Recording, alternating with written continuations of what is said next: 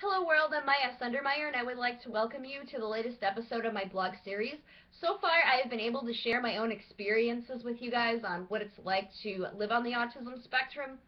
A second thing that I like to do is give my two cents on what's going on with autism in the media. A third thing that I do is I also like to um, give tips and advice to individuals on the spectrum and to their friends and their families and their peers and their mentors and to anybody in the community in general as an autism resource.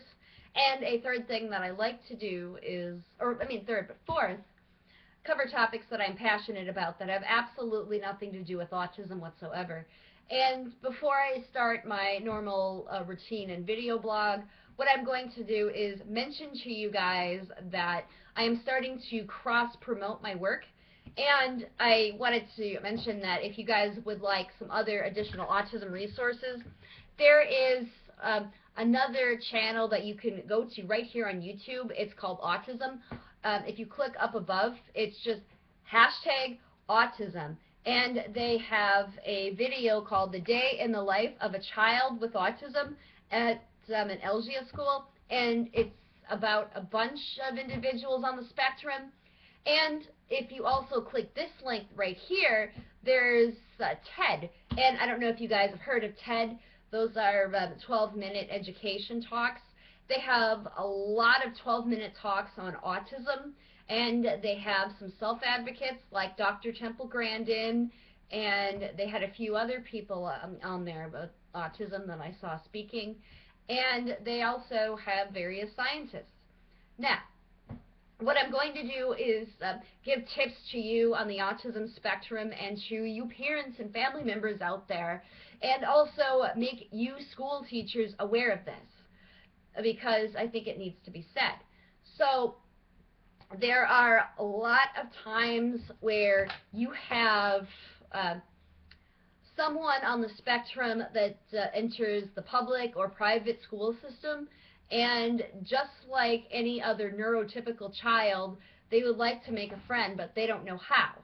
Now, uh, they can also try to make friends with others in the special education room, but let's say that the other kids uh, don't have autism or they have some other type of uh, situation like uh, dyslexia or they're legally blind or they're deaf or they've got cerebral palsy or spina bifida. And let's say that uh, the child with autism or the adolescent has some behaviors that are inappropriate. Like in my case, when I was in school, I wanted to dress like the Spice Girls because it was peer pressure. I saw other teen girls um, wearing skimpy outfits, so I wanted to dress that way, and I called myself sexy. And of course, some of the other kids in the class uh, decided that they were going to go home and tell their parents. Well, their parents were a little leery about me anyway because they didn't really know uh, what was wrong. They just thought I was weird and they thought that I was a bad influence on top of that, and so I got shunned. And not only that, the other kids in the class bullied me. So it's really common for an individual on the autism spectrum to get bullied and shunned by other peers and their parents because they haven't been taught what autism is or what it can do, and they haven't really been trained how to handle different behaviors. In fact, they themselves have problems of their own and they're probably growing. Now, for those of you that have uh, been dealing with uh, this, this form of oppression and discrimination and misunderstanding, there are a few things that you could do.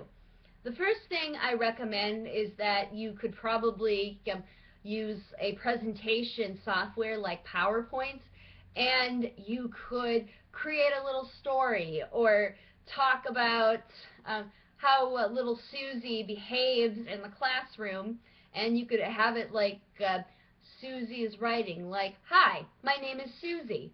I have autism.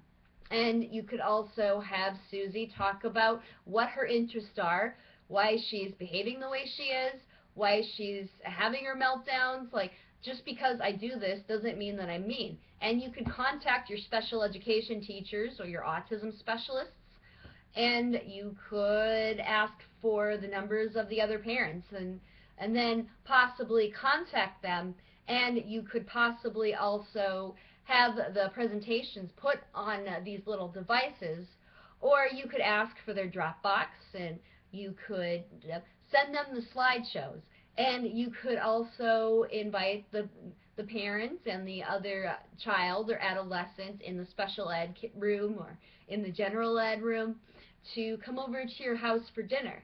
And the four of you, five of you, six of you could sit down together and try to help uh, the other family understand where you and your child are coming from and help them to know that your child is just like everybody else and they want friends and they want to fit in but they don't really know how. And you guys could probably brainstorm about being a mentor for uh, the child with autism. And you guys could work on helping them to dress appropriately and talk appropriately and teach them manners and rules. And it should just basically build a little community that could be beneficial. So, again, uh, please be sure to uh, click on um, the, the cards above, like TED and you can go to the autism channel and there's another one I'm suggesting is Asperkids. Now she's another woman like me and her name is Jennifer Cook O'Toole and she has a lot of advice on how to handle situations that are similar because she herself has Asperger's.